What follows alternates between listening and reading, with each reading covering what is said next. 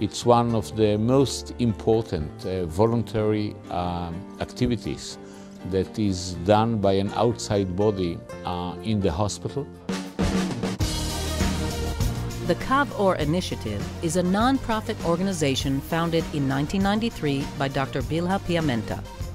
In 2009, at the recommendation of the Israeli Ministry of Education, the program was integrated with World ORT Kadima Mada, World ORT's representative in Israel. Since that time, the Sasa Setin Kav Or initiative has grown tremendously and continues to expand and increase the range of activities available to hospitalized children in Israel. These services are offered to hospitalized children from all sectors of Israeli society, native and new immigrants alike, whether religious or secular, Jewish or not, many of which are from less privileged populations.